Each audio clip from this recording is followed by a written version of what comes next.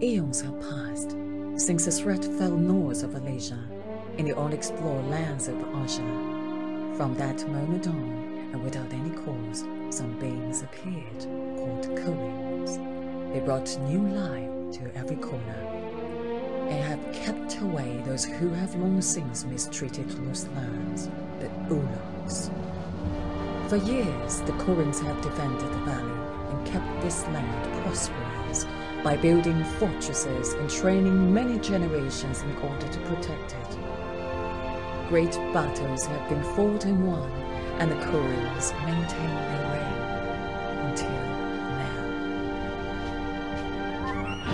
The Ulars have gathered together and using a mysterious force, they have unleashed a war more devastating than this land has ever seen before destroying the Courine legacy and ravaging everything they have built. Now only the last breaths of the few remains. Eternal Wings, please take this story far away and let everyone know what is happening in Azur.